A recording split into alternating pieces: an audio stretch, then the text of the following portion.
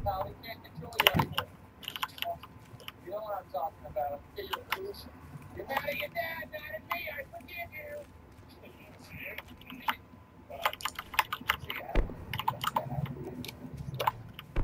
You even like that name.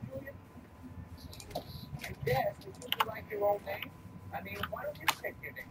To be your name the rest of your life. What do you Frank. Frankenstein? All right, I can deal with that. What are you doing, Frankenstein? Are you to play in the puddle? Go ahead, puddle it up. From now on, you do whatever you